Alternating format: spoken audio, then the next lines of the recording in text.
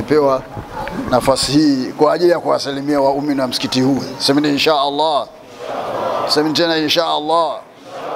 Na kikubwa tumekusanyika hapa, ndugu zangu Waislamu, si kwa jingine, bali kwa ajili ya kumwomba Mwenyezi Mungu Subhanahu wa Ta'ala atujalie mwaka huu unayekuja, kama ni kesho au kesho kutwa, basi uwe mwenye, mwaka wa baraka, uwe mwaka wa neema, uwe mwaka wa kutuondolea matatizo mbalimbali, mabalaa mbalimbali, kwa kusudiwa nia yetu tulioiweka hapa. Kwa hiyo hilo ndio kubwa, lakini la mwisho ni kwamba ndugu Waislamu, tunatakiwa tushikamane katika kuipigania dini ya Mwenyezi Mungu wote kwa pamoja, kama alivyosema Mwenyezi Mungu Subhanahu wa Ta'ala, baada audhu billahi minashaitani rajim. Amesemaje katika aya? Wa'tasimu bihablillahi jamia wala tafarraqu.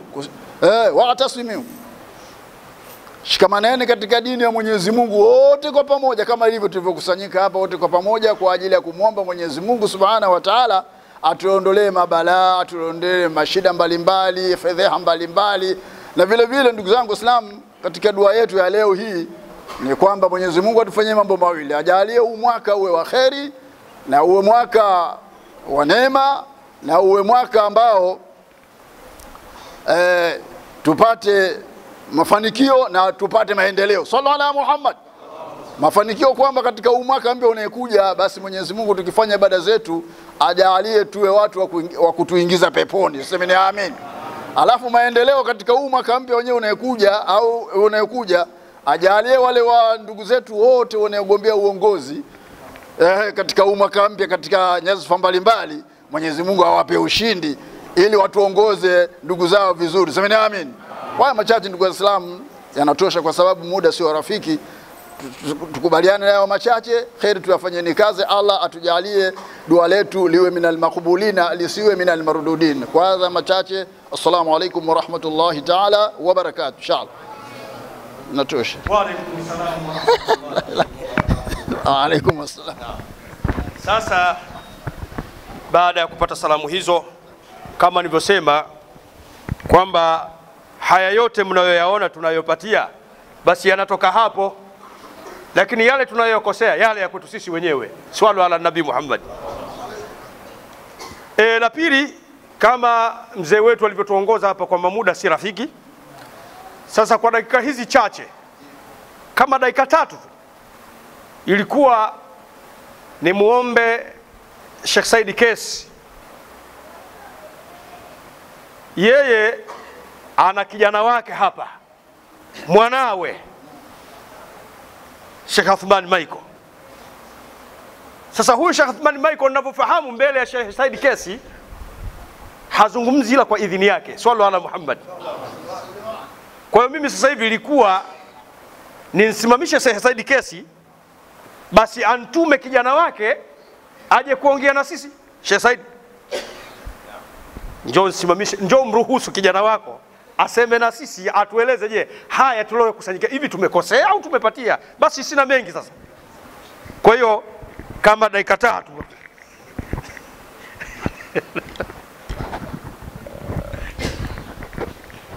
Assalamu alaikum warahmatullahi wabarakatuh. Alhamdu lirabbil bariya wassalatu wassalam ala khairil bariya وعلى آله وأصحابه ذوي النفوس زكية. رب اشرح لي صدري ويسر لي أمري وحلول عقدة من لساني يفقه قولي. قال الله سبحانه وتعالى وإذ يمكر بك الذين كفروا ليثبتوك أو يقتلوك أو يخرجوك. ويمكرون ويمكر الله. والله خير الماكرين. وقال أيضا وإلا تنصروه فقد نصره الله. إذ أخرجه الذين كفروا ثاني اثنين. إذ هما في الغار. إذ يقول لصاحبه لا تحزن إن الله معنا. Ama ndugu zangu Waislamu, baada ya kumshukuru Allah na kumtakia rehma mtukufu wa daraja, mtume wetu Muhammadin sallallahu alaihi wasallam. Ndugu zangu Waislamu, nimesimamishwa mbele yenu mimi Saidi Kesi, ndio shekhe wa kata ya Minazi Mirefu kupitia Baraza Kuu la Waislamu BAKWATA, na pia vile vile ni imamu wa Masjidu Nuri Migombani. Nimesimamishwa kwa kazi moja kwa amri ya mwenyeji wetu Shekhe Mkauja kwamba nimkaribishe Shekhe Uthman ili aweze kuzungumza na Waislamu walau kidogo, kama alivyosema Shekhe Bakari kwamba muda si rafiki. Amiri wa shura ya maimamu kata ya Minazi Mirefu ama kata ya Kiwalani amesema muda si rafiki, na si rafiki kweli, lakini inshallah nitamsimamisha kwa amri ya shekhe kama alivyosema. Lakini wakati ninasimama, shekhe akaniambia, na wewe zungumza mawili matatu ndio nisimamishe. Kwa hiyo nitazungumza hizi aya ambazo nimezitanguliza kwa sababu yeye ndio mwenye uwanja wake, lakini pia nisisahau tunaye hapa Sheikh Abdul Aziz almaarufu yupo hapa. Kwa hiyo Sheikh Uthmani ataangalia yeye mwenyewe kama atasimama yeye mwenyewe au atamsimamisha sahiba wake, basi inshallah. Allah tabaraka wa taala katika Qurani katika suratul Anfali aya ya 30 kuna aya inasema wa idh yamkuru bika alladhina kafaru, kumbuka wewe Muhammadi, pindi walipokufanyia hila wewe, walipokufanyia mbinu wewe, wale watu ambao kwamba waliokufuru wamefanya hila za nini? liyuthbituka, ili wakudhibiti wewe, wakufunge wewe, au yaktuluk, au wakuue wewe, au yukhrijuk, au wakutowe wewe katika mji wa Maka. Wayamkuruna, na wakafanya hila. Wayamkuru llah, na Mwenyezi Mungu akapindua ila zao. Wallahu khairul makirin, Mwenyezi Mungu yeye ni mbora zaidi wa wale watu wenye kufanya hila, basi mbora wao ni Mwenyezi Mungu. Mwenyezi Mungu yeye ndio mlipaji wa wale watu wenye kufanya mbinu mbinu za hovyo kama hizi. Ndugu zangu Waislamu, kwa ufupi tu, aya hii ilishuka pale ambapo makafiri waliweka kikao, washirikina, kila aliyekuwa kiongozi mkubwa katika Maka katika kila kabila akaitwa katika kikao hiki, kikafanywa katika jumba ambalo kwamba linajulikana kihistoria linaitwa Daru Nadiwa. Kwa hiyo Daru Nadiwa wakakaa pale wazee wa Maka pamoja na walioko vitongojini. Ibilisi laanatullah akasikia kile kikao kwamba kikao kile anajadiliwa Muhammadi, dini yake itapotezwa vipi? Shetani akasema hapo ndo napopataka hapo. Shetani akajigeuza katika sura ya kiwanadamu, kwa sababu Mwenyezi Mungu kampa uwezo huo, akajigeuza katika sura ya kibinadamu. Tena hakuja shetani hali ya kuwa ni kijana, hapana. Akaona ili uende kwa watu ukaheshimike, lazima uwe mtu mzima. Shetani akawa ni mtu mzima kabisa, akaja kwa sura ya kiwanadamu, kikongwe kabisa, akaja kwenye kikao hicho Daru Nadiwa. Alivyofika, wale wajumbe waliokusanyika pale wote wanajuana, kila mmoja anajulikana. Lakini sasa kwenye kikao kama vile lazima watu wajitambulishe. Kwa hiyo ilivyofika zamu yake akaulizwa, haya, wewe mwenzetu, nawe watoka wapi? Maana hatu, hatukujui wewe. Akasema, mimi bwana ni mzee wa bara, natoka huko Bali huko, lakini nilivyosikia mimi kwamba kunajadiliwa habari za huyu kijana, jinsi anavyonikera mimi pamoja na uzee wangu, nikasema lazima nshuke milima nije huko ili nije nishiriki katika hiki kikao na katika hiki kikao nyote hakuna anayenizidi utu uzima hapa. Kwa hiyo nawaombeni katika hiki kikao msikate masala, lazima mniulize, mzee wa bara unasemaje? Allahumma salli wasallim alayhi. Basi kikao kikaanza, alhamdulillah. Katika wazo la kwanza lililotoka, mjumbe mmoja akatoa wazo ya kuwa huyu Muhammadi, kwa nini anatutesa bwana? Tujengeni kijijumba kidogo, alafu tutobe kijimlango kidogo tu, kijitundu kidogo tu, ili kupata nafasi ya kuweza kumtilia chakula tu, basi ale pale, awe anakunywa pale mpaka umri wake utakwisha, atakuwa hakutani na watu. Umri wake ukiisha, atakufa, habari yake imekwisha. Tukiwa tumemfunga, harakati zake atazifanyia wapi bwana? Haya masala ya jela hayaku- haya sasa, yalianza toka kipindi hicho, wale watu wa Mwenyezi Mungu kufungwa. Mtume pia alijadiliwa kwamba afungwe. Sasa kama walivyopatana kwamba mzee wa bara akaambiwa lisikatwe shauri, lazima aulizwe. Akaulizwa mzee wa bara wasemaje? Mzee wa bara akasema huyu Muhammad kwani kazaliwa wapi? Sema kazaliwa hapa hapa Maka, si ana wajomba zake hapa, si ana baba zake wakubwa hapa, si ana ndugu zake. Ni nani atakayemwona ndugu yake katua kwenye kichumba hicho anateswa akakubali? Hiyo rai hiyo mtaacha mje mpigane wenyewe kwa wenyewe mlioko humu, mtakuja mtageuka. Kwa hiyo hiyo si rai, acheni. Haya, ikaja rai ya pili. Rai ya pili ika mmoja akasema, basi huyu bwana cha kufanya tumtoe, tumpeleke mbali huko. Tukimpeleka mbali huko tena huku Maka hatorudi, tukimsafirisha mbali. Mzee wa bara huyo hakusubiri hapo kuulizwa, akaruka akasema, katika rai mbovu, we ni rai hiyo Nyinyi si mnamjua huyu kijana alivyo. Mi nasikia sifa zake, akikueleza lazima utakubali. Huko atakakokwenda huko, ataenda kuwaeleza watu, atakuja na jeshi huko. Nyinyi hapa Maka mtakuja kutafutana, mtakimbiana nyote. Kwa hiyo hiyo sio rai. Pale ndio ika- ikatoka hari- eh, rai ya mwisho ambayo mzee ndo aliafiki, kasema huyu tukimtaka kumaliza mzozo huyu tumuue. Mzee wa bara pale akaruka na akasema hiyo ndio rai. Alikuwa mnahangaika mnazungusha zungusha tu, mkishamuua habari imekwisha. Kwa hiyo tutamuuaje?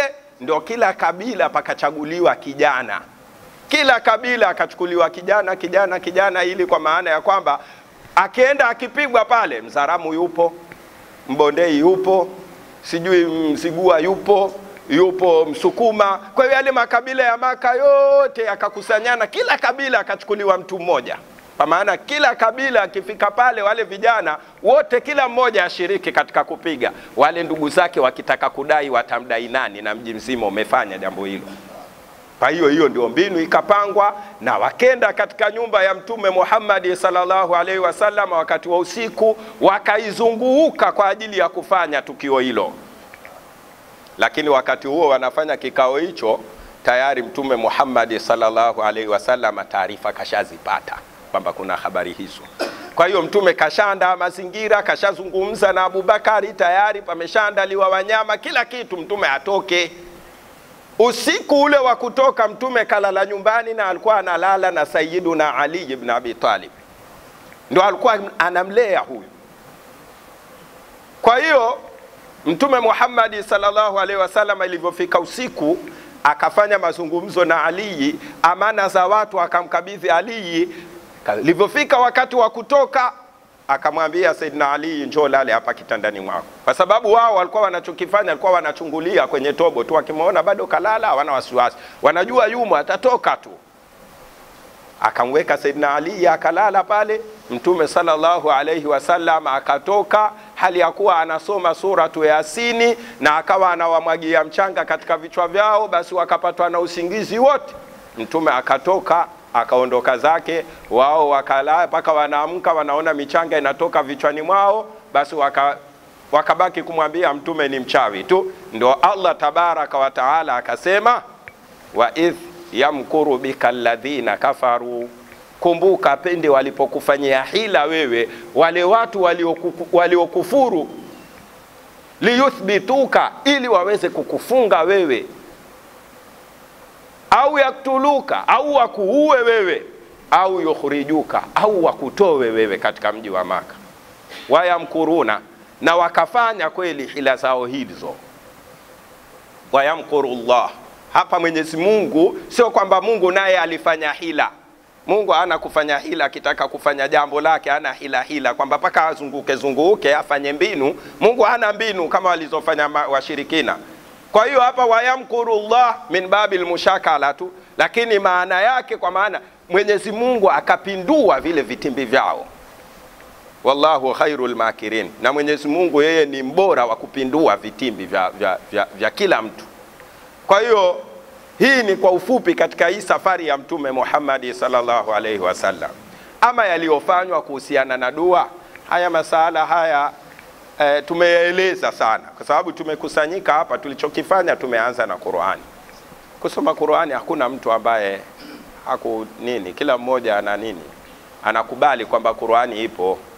Eh, tumeanza na tawasuli hizi mbalimbali. Kwa hiyo haya masala hayana mushkeli wowote na mimi nikifungua mdomo kusema niyaeleze haya naweza nikachukua muda hata nkala muda wa shekhe uthmani nikaona kwa maana nieleze ili kwa ufupi lakini haya masala hayana wasiwasi eh, tunaelezana na tutaendelea kuelezana takapokuwa tumepata muda vizuri lakini kwa sasa nimkaribishe ndugu yangu eh, rafiki yangu rafiki yangu sana sana tena sana. Afanyi la kwake ila ananipa taarifa. Kwa hiyo kwangu mimi ni fahari Sheikh Uthman ni fahari sana na nashukuru sana kwa kupewa nafasi hii kumkaribisha kwa heshima na taadhima Shekhe Uthmani karibu na wewe angalau uje utabaruku. Si vizuri kabisa kuondoka hapa bila ya kusema chochote. Na hapa wewe ni mlezi kama alivyosema Shekhe, Sheikh Mkauja. Kwa hiyo haiwezekani mlezi wamekusanyika wale wanaolelewa alafu asionyeshe ulezi wake. Itakuwa sio sahihi. Karibu Shekhe Uthman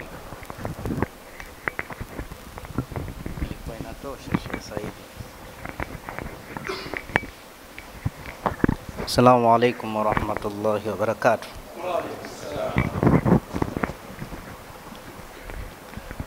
الحمد لله الذي شرف الأنام بصاحبه المقام الأعلى وكمل السعود بأكرم مولود حوى شرفا وفضلا وشرف به الآباء والجدود ملع العجود بوجوده عدلا حملته أمه آمنة فلم تجد لحمله آلما ولا ثقلا. وأشهد أن لا إله إلا الله وحده لا شريك له. وأشهد أن سيدنا محمدا عبده ورسوله. بعث للتوحيد الكلمة ولكلمة التوحيد. إن الله ملائكته يصلون على النبي يا أيها الذين آمنوا صلوا عليه وسلموا تسليما. اللهم صل وسلم على سيدنا محمد طب القلوب ودوائها وقوت الأرواح وغذائها ونور الأبصار وضيائها صلاة دائما مستمرة إلى يوم نلقاه. Waislamu wanawachuoni wa balagha wanasema likulli makalin makamin wa likulli makamin makali, kila sehemu ina mazungumzo yake. Lakini pia tumefundishwa katika mafundisho ya Bwana Mtume Muhammad akikasirika sana mtu kulala kabla ya salatul isha wa hadithun baada, na mazungumzo baada ya wakati wa isha. Kwa hiyo ningependa nsitwawilishe, na kwa meseji ya Sheikh Said Kesi ilikuwa imetosha sana, lakini la mahala, laqad awalan aqaftu wa uqiftu kai ufidakum bima afadani Allah, lakini nimesimama mwenyewe, lakini nimesimamishwa. Kama nina chochote basi nikupeni, kwa sababu kila mwenye maneno awape wenzi wake. Tunamshukuru sana Shekhe Mkauja ametuita sote kwa ajili ya mwaka mpya wa Kiislamu. Waislamu innaka anta min ayamin fa idha dhahaba yaumun laqad dhahaba ba'duk. Ametuitia jambo moja kubwa sana, kwa sababu sisi binadamu sio chochote, sisi ni masiku tu, sisi ni madakika tu. Ikipita siku, ukipita mwaka, basi sehemu yako ndo imekatika hivyo. Siku ngapi zinapita? Na hazirudi? Kuna yaumin mamdude. Wa yaumin mafkude. Wa yaumin mashhude wa yaumin maulude. Wa shahidin wa mashhud. Juzi imepita, jana tumeikosa, na leo kwa heri, na kuna siku ya kesho, na kuna siku itakusanya siku zote, siku ya nadama, siku ya hasira, siku ya Kiyama. Lau saalna minna ahadan sualan fa ayu shay'in aghla indana fi hadhihi alhaya, tukiulizana kila mmoja mzungumzaji na mustamiin, ni kitu gani ni ghali, ni kitu gani ni muhimu, ni kitu gani kinaonekana ni very expensive katika maisha ya kila leo, kila mmoja ataeleza yake kutokana na yale mambo ambayo ameyapa kipaumbele katika maisha ya kila siku. Na leo tukiondoka hapa, kila mmoja akamuulize babake, akamuulize mama yake, amuulize mke wake, baada ya kujiuliza yeye mwenyewe ni kitu gani ni muhimu sana. Basi kama hamkijui kitu hicho, ni kitu alichotuitia leo Shekhe Mkauja, tunamshukuru sana, ametupa dhikri kubwa. Mwingine asema hela ndo kitu ghali, amekosea, amekwenda Roma. Mwingine anasema siha uzima ni kitu ghali, bado amekosea. Mwingine anasema siha njema, mke mzuri, ukajenga nyumba mkawa mnaishi hamdaiwi. La, hakuna kitu ghali, hakuna kitu cha thamani kama faragha, kama zamani, kama time, kama wakati.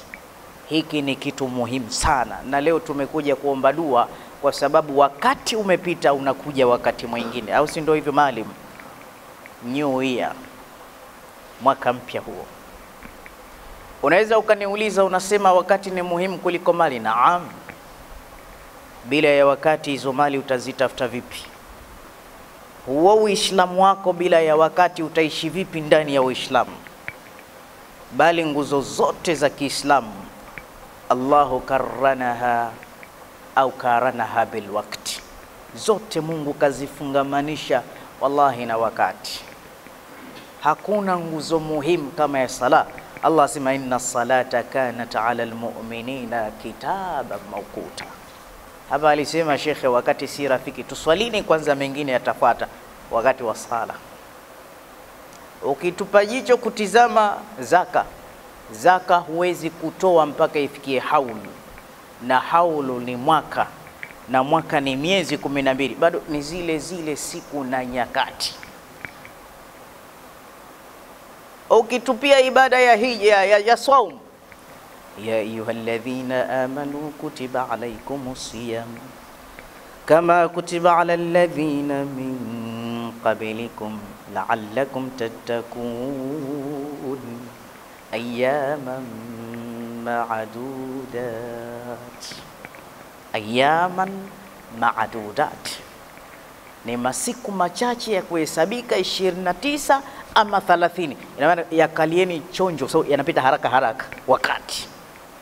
Hija nayo.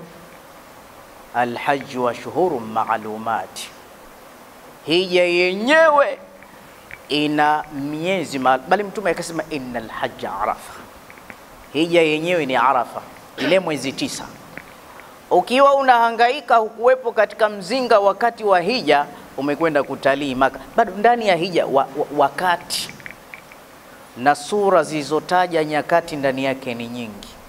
Walfajr ni wakati wa asubuhi, wadhuha ni waktu dhahiya, wakati wa mchana, walasr wakati wa jioni, wallail wakati wa usiku, fama qimatu lwakti indana nahnu, vipi si tuna uthamini wakati? Mmeiona hii wochi iko wapi? Saa saa iko wapi? Hiyo hapa, hii hapa. Kisheria na history, Waislamu ndo watu wa mwanzo kutengeza chombo kinachoitwa saa, kwa sababu matukufu yao mengi sana yanaandamana na wakati. Hakuna mtu atakayeharibikiwa ila yule ambaye wakati wake ameuachia umekwenda bure bure.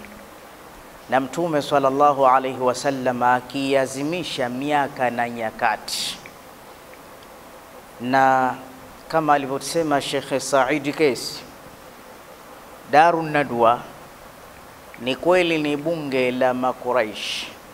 Yuko bwana mmoja anaitwa Hakim Ibn Hazm alipinga Uislamu takriban miaka ishirini. Hakim Ibn Hazm alivyokuja kusilimu, ile daru Nadwa ni lake lile, na magharibi mwake amezikwa Sayyidina Shuaib ibn Yashjan, na Shuaibu ni katika mitume wanne wa Arabu, alizikwa pale Saidina Shuaib na watu wake baada ya kutoka Urdun, Jordan au Baharul Mayit, Black Sea. Alivyosilimu lile jumba lote hakutaka kuupoteza wakati, akalitoa lote akaliuza kwa ajili ya sabilillah. Watu wamepinga sana sehemu hii dini ha, hakutaka tena kupoteza wakati, na Mtume alimuhusia asiombe, na hata mwisho wa uzee wake Hakim bin Hazmi alijizuilia na kuomba, anaishughulikia akhira hataki kucheza na wakati ilikuwa alivyokuwa mzee, hata bakora ikidondoka alikuwa hamtumi mtoto kumwokotea, anaokota mwenyewe, alikuwa hapendi kuomba.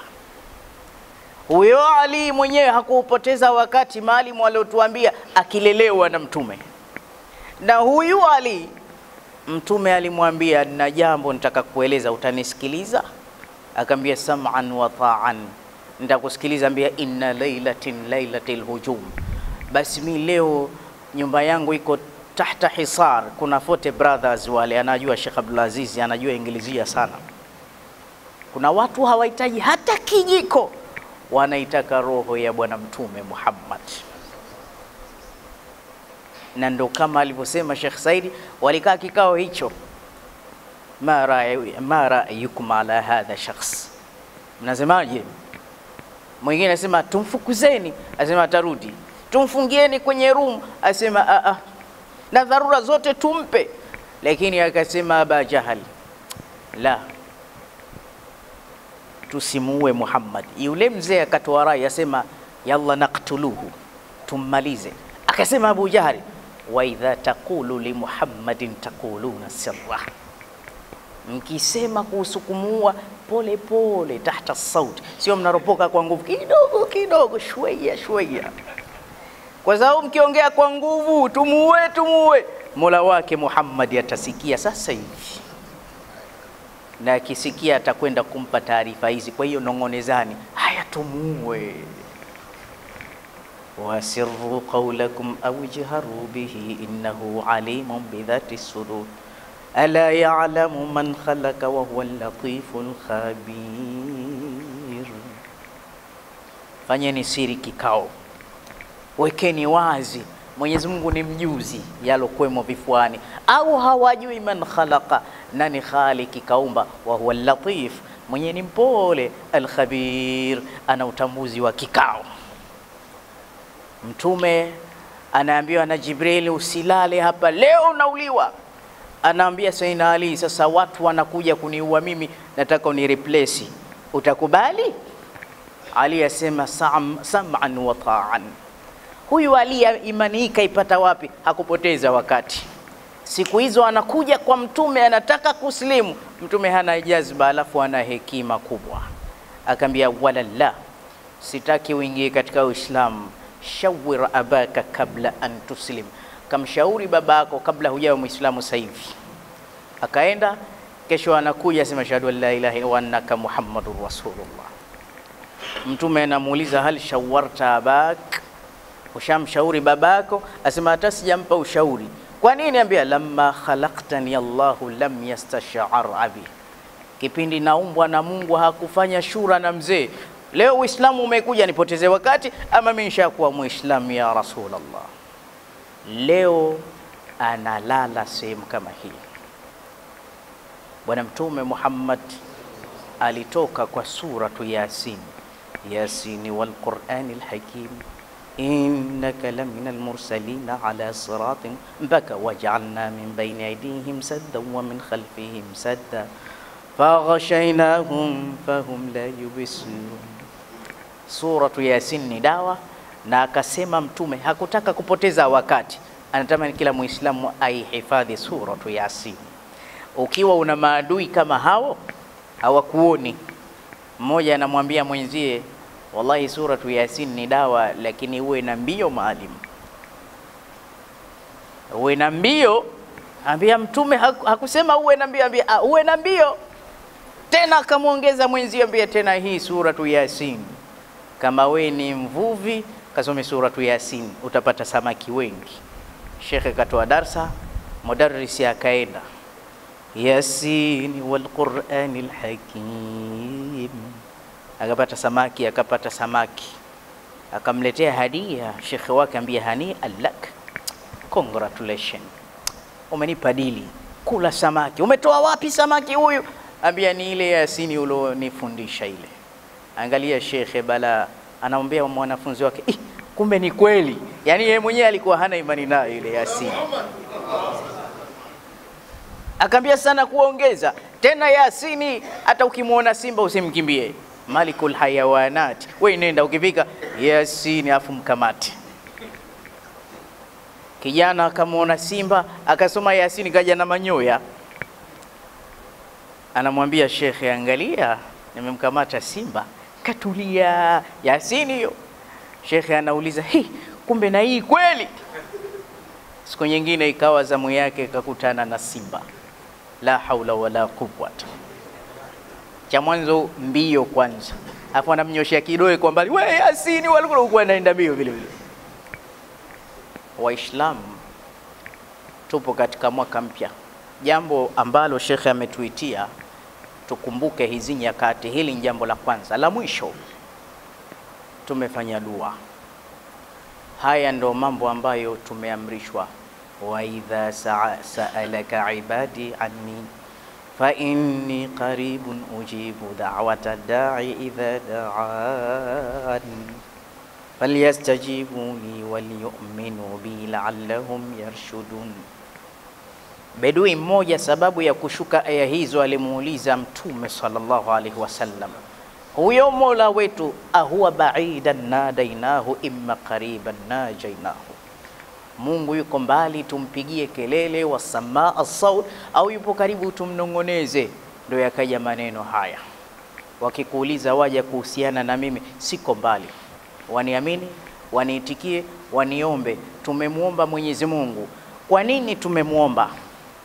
Katika simu alionipigia Shekhe Mkauja, ndo watu wazima hawa, sisi bado ule ualimu na ushekhe bado, mpaka angalau tupate pate umri kama wao, wana hekima nzito. Na nilifurahi sana alivyomwamsha mzee Abu Bakar, nilifurahi sana.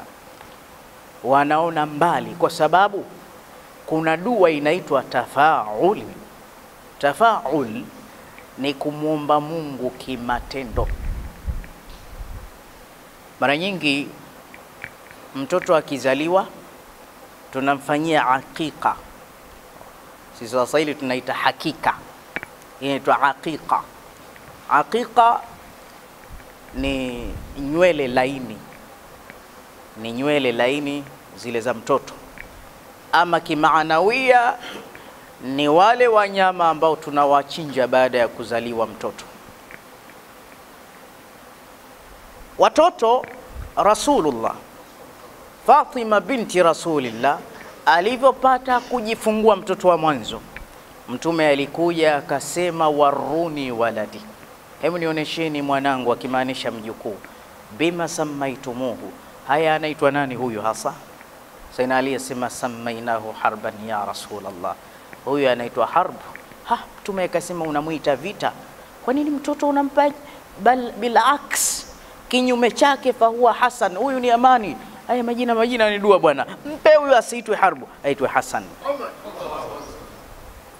Akapata mtoto wa pili akasema waruni waladi bima samaitu, na huyu nani?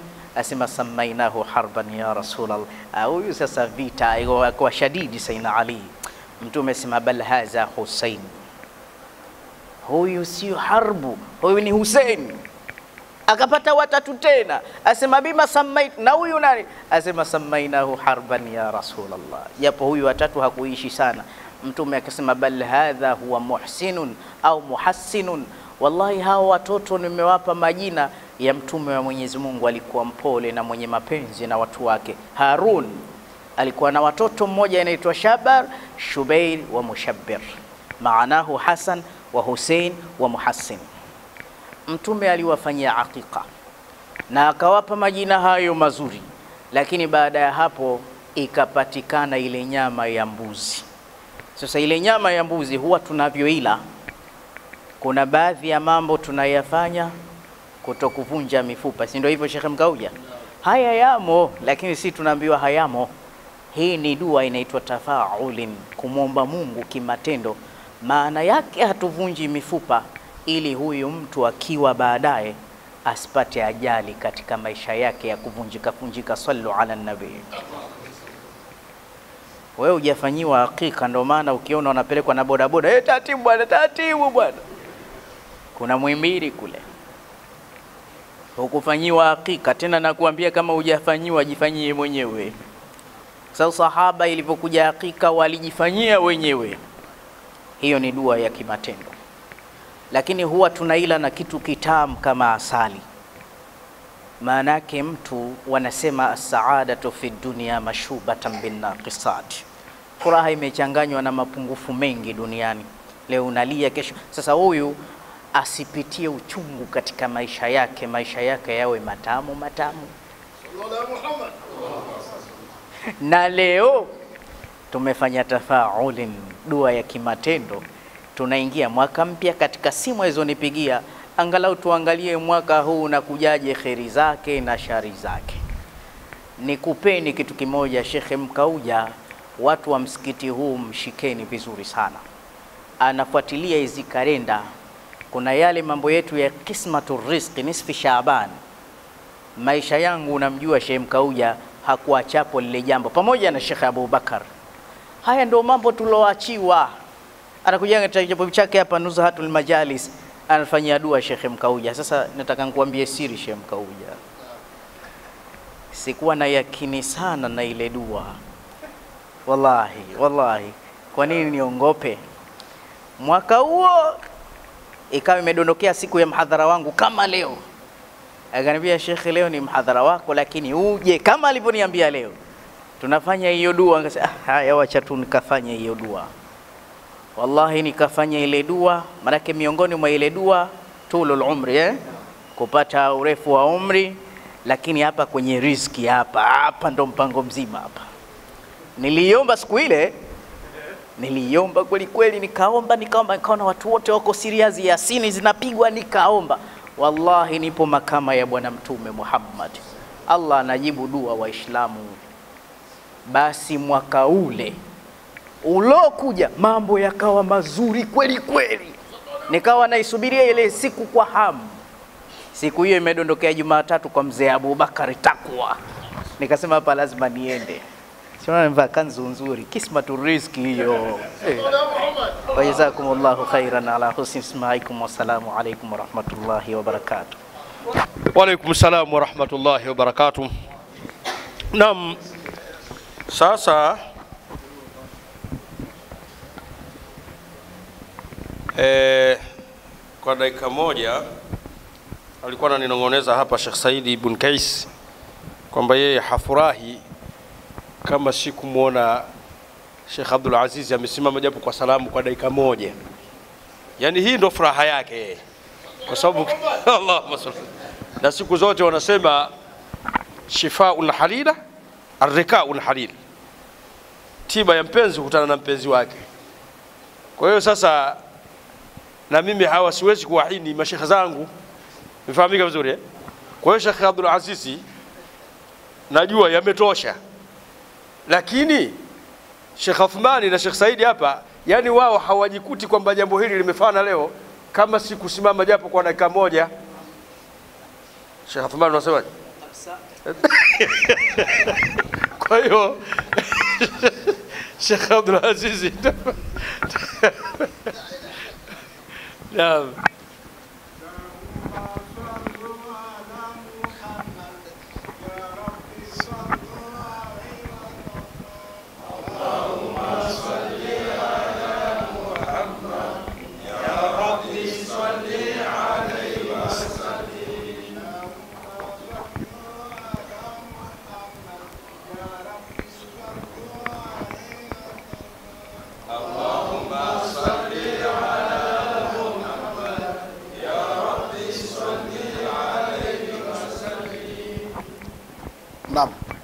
Assalamu alaikum warahmatullahi wabarakatuh.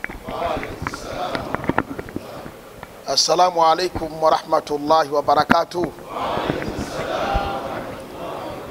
Ndugu zangu, mimi nimeombwa nisimame nitoe salamu na salamu nimekwisha itoa. Shekhe wangu Shekhe Othmani Michael, shekhe wangu mwamba hapa Imamu, leo nilikuwa kwako magharibi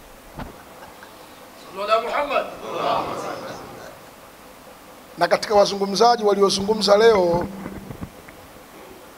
baada ya swala ya magharibi nilikuwa ni mimi, na nikaona niliposikia kuna shughuli hapa tena muhimu, wanatuambia mashehe zetu hawa ya kwamba nukadimu la ahamu thumma limuhimu, kuna jambo muhimu zaidi kisha kuna muhimu. Nikaona nije kwenye muhimu zaidi katika dua. Mimi sina la kuzungumza muda huu, mengi yamesemwa na shehe wangu hapa, mengi yamesemwa na rafiki yangu, swaiba yangu, shehe wangu, ndugu yangu, mambo muhimu. Mimi naomba tu kilichobaki, labda tufanze moja, kwa kuwa mashehe bado hawajaondoka na kuna watu hapa bado wana mambo yao, na hakuna jambo muhimu kama kumwomba nani? Sijasikia. Hakuna jambo muhimu kama kumwomba nani? Allah ndiye wa kuombwa. Mimi naona ajabu, mtu anakwenda mpilani dakika tisini achoki mpaka mpira uishe, na atafungwa goli moja yumo, atafungwa goli nne yumo, lakini kwenye mambo ya Mungu mtu anaona tabu, kaa dakika tano kumi kumi na tano anaona tabu kabisa, tena nyingine, maana inaongezwa muda, wenyewe wanakuambia extra time, muda wa nyongeza, mpira umechezwa, goma draw, hawajafungana wanaongeza muda mia na ishirini mtu aondoki mpaka kieleweke. Inalilahi. Kwa hivyo niseme tu kwamba tuombe tena dua, mashehe wapo, watuombee dua. We have many problem, tuna shida ndugu zangu, wa kumwomba ni Allah, hakuna mwingine, na tunaambiwa sisi Waislamu Allah ni mmoja, there is no other, hakuna mwingine, na huyo ndo wa kuombwa, kashasema shekhe hapo. Kwa hivyo mimi niombe tu, fursa iliyobaki ni moja, tumwombe Allah tabaraka wa taala, wenda Mwenyezi Mungu akatufungulia yetu, na hususan katika mwaka huu mpya ambao kwamba unaingia wa Kiislamu. Tena inawezekana Waislamu wengi hawajui habari hii. Waislamu tubadilike. Wenzetu wasiokuwa Waislamu hawa wamejenga tabia kwamba mwaka haubadiliki mpaka saa sita usiku na mwaka haubadiliki mpaka wanasema tena inakuwa mwezi wa kumi na mbili saa sita ya usiku ndio mwaka mpya, si ndivyo? Kwa nini iwe sita usiku? Mwaka wa Kiislamu bwana, mwezi ukiandama tu, mwezi ukiandama tu mwaka mpya, sawa sawa. Tena saa kumi na mbili na nusu tu, maana yake ukionekana mwezi jua limebadilika, watu wanasema kwamba sasa ni mwaka mpya, na ndio sawa sawa. Tena tumetaimiwa sisi Sheikh Othmani, ikiwezekana uyaseme sana kwenye darasa zako, na shehe wangu ikiwezekana myaseme sana. Tumetaimiwa na mimi nasema Waislamu tuondoke kwenye timing. Kwa nini mpaka saa zetu hizi? Mimi saa yangu nimerekebisha Kiislamu, Islamu hii hapa hii. Tumetaimiwa mpaka kwenye saa, Sheikh, mtu anarekebisha saa yake kizunguzungu, ili mwaka ukibadilika na yeye aone kwamba mwaka mpya inafika mahala muislamu mmoja anaweka saba. Aliyekwambia saba ndio moja we nani? Swali wala nabi mimi nauliza aliyesema saba moja nani? Hivi niambie unakwenda shule alafu unaambiwa andika moja unaandika saba. Unapata unakosa. Timing hiyo. Mashehe mseme sana hili. Siku yao mwaka wao unabadilika baada saa sita ya usiku hata siku sio mwaka.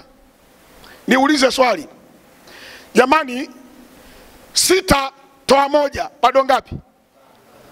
Ah, no, no, no. na maana hii moja toa sita inabaki ngapi? Saba. Twende kwa hesabu nzuri eh? saba toa eh, sita toa moja inabaki ngapi tano. No. Wanasema kwamba moja inakuwa saba si ndio? Saa mbili? Nane. Saa tatu? Tisa. Saa nne? Kumi. Saa tano? Kumi na moja. Twende pamoja. Saa sita? Kumi na mbili saa Kiswahili ni tunaandika ngapi? Saa Kiswahili kama ni saa sita tunaandika ngapi? Wewe unaweka kumi na mbili,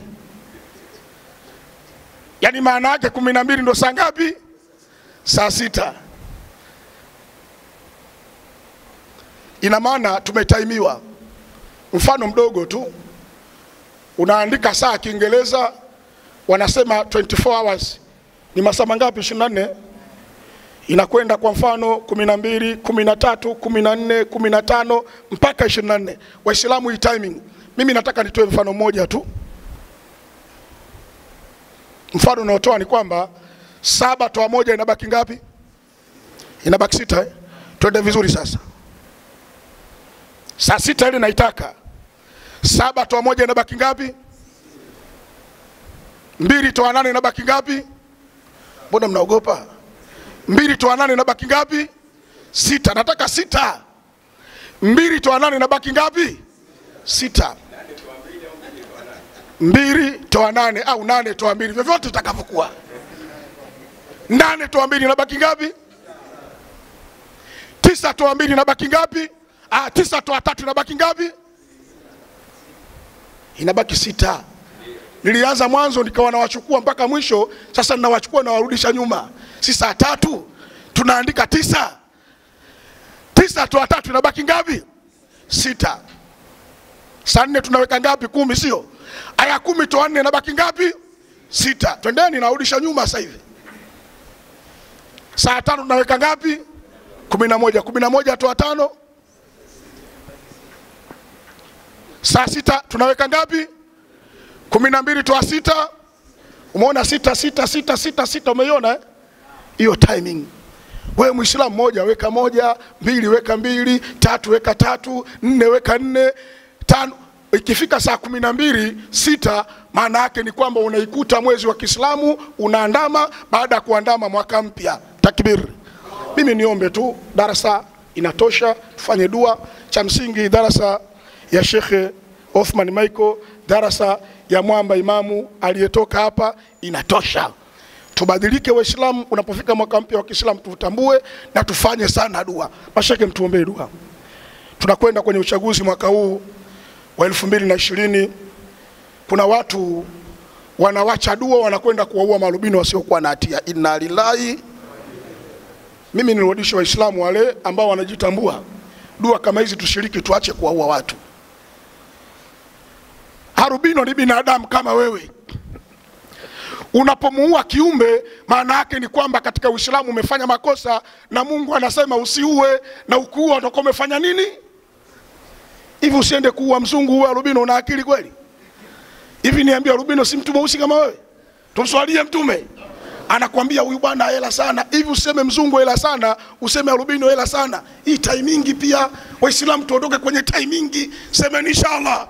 Tuombe dua jamani, na kama kuna mtu ana ndugu yake mwaka huu ana chama chake mwaka huu yeye mwenyewe mwaka huu, hatuna haja kuwa maalubino.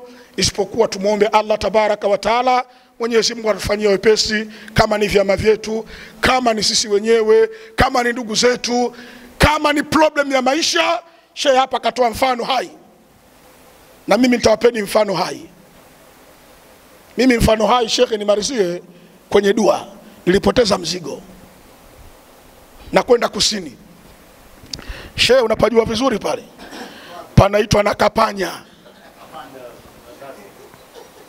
Kusini kuna vijiji, kusini kuna vijiji vingi sana. Kuna kijiji kinaitwa Nanguruwe, kuna kijiji kinaitwa Nakapanya. Na usione ajabu kaambua gari yenu inachelewa kuondoka, mtalala na Nakapanya, mtakula na nguruwe. Usione kama vile unakwenda kula na nguruwe kweli. ah, hapo maana yake ni kwamba kijiji swali wala nabi, watu wakaondoka na mzigo baada ya kuondoka na mzigo, tumefika Tunduru, Masjidi Machele, tukafanya dua. Kwa uwezo wa Allah mzigo ukapatikana. Takbir! Mashehe, tuombee dua inshallah. Hilo ndio kubwa, hata mimi nalihitaji, ndio maana nimekuja. Na mliobaki hapa wote, ndugu zangu, tieni nia, tuombe dua ya pamoja ya kumaliza shughuli yetu hii, hadhara yetu hii, wenda Allah akatufungulia katika mwaka mpya. Alaikum wa rahmatullahi wa barakatuh. Wa alaikum salam wa rahmatullahi wa barakatuh. Bila shaka kiu ya mashehe zangu imeshaondoka. Sasa kilichobakia kwa ruhusa yenu, dua hili aje kutufungia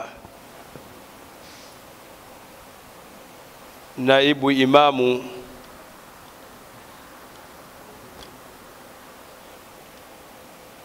wa msikiti wa mtaa wa Arusha Sheikh Hamisi aje atumalizie sasa hivi kwa dua ili tuweze kupeana ruhusa, lakini kabla ya hapo niseme tu kwamba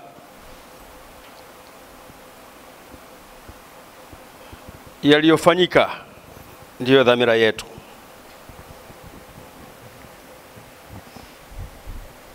Panapo kwenda vizuri au lilokwenda vizuri, hilo nafikiri ndo tulikuwa tumelikusudia.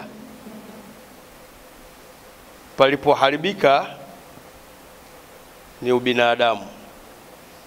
Tunaomba mtuchukulie afwa, tusamehiane. Nia yetu ilikuwa ni kutengeneza, sio kuharibu. Sasa tu kabla Shekhe Hamisi hajaja kufunga, nisimamishe hapa nzee Mbwana, mwenyekiti wa msikiti huu na kamati tendaji, basi atoe shukurani na agane na ndugu zetu kutoka sehemu za mbalimbali, alafu baadaye Sheikh Hamisi aje kumalizia dua. Kwa hiyo bin Musa, tafadhali, kwa sababu upo na mimi siachi kukunyanyua. Assalamu alaikum warahmatullahi wabarakatuh. Ah, nafikiri mambo yote yamemalizwa na mashekhe na mimi nimeomba tu nimeombwa tu kwamba nifanye dua, lakini pia niwashukuru wale wote ambao mashehe wameacha maeneo yao, misikiti, uongozi. Lakini wakaja kushiriki nasi hapa, basi niseme kwa niaba wana Masjidi Madina wanasema asanteni na wanakushukuruni sana, lakini pia nimshukuru Sheikh Uthman Maiko ambaye kwa nafasi yake yeye hapa ni mhadhiri, anatupa ilmu, anatufundisha na leo kaacha muda wake kaja hapa, na nafikiri kamera hii inayomulika kwa niaba yake, basi pia nimseme shukurani sana, asante bwana Uthman Maiko. الحمد لله رب العالمين والصلاة والسلام على رسول الله صلى الله عليه وسلم يا الله ندعوك كما أمرتنا فاستجب لنا كما وعدتنا إنك لا تخلف الميعاد بحولك وقوتك إنك على كل شيء قدير اللهم أعز الإسلام والمسلمين وأذل الشرك والمشركين ودمر أعداءك وأعداءنا وأعداء الدين واختم لنا بخير منك يا أرحم الراحمين برحمتك يا أرحم الراحمين. اللهم اشف مرضانا ومرضى المسلمين. اللهم اشف مرضانا ومرضى المسلمين. اللهم اشف مرضانا ومرضى المسلمين. اللهم ارحم موتانا وموتى المسلمين. اللهم ارحم موتانا وموتى المسلمين. اللهم ارحم موتانا وموتى المسلمين. برحمتك يا أرحم الراحمين. يا الله بها يا الله بها يا الله بحسن الخاتمة. يا الله بها يا الله بها يا الله بحسن الخاتمة. يا الله بها يا الله بها يا الله بحسن الخاتمة اللهم نسألك شهادة عند سقرة الموت. بحولك وقوتك إنك على كل شيء قدير. برحمتك يا أرحم الراحمين. وصلى الله على سيدنا محمد وعلى آله وصحبه وسلم. الحمد لله رب اللهم صل على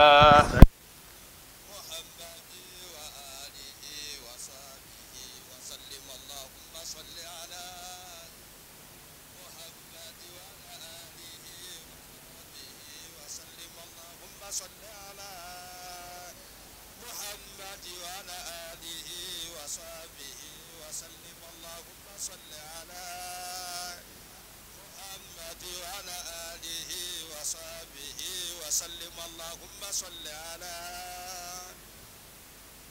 وعلى آله وصحبه وسلم. اللهم صل على محمد وعلى آله وصحبه وسلم. اللهم صل على محمد وعلى آله وصحبه وسلم. اللهم صل على محمد وعلى آله وصحبه وسلم. اللهم صل على محمد وعلى آله وصحبه وسلم. اللهم صل على محمد وآله وصحبه وسلم. اللهم صل على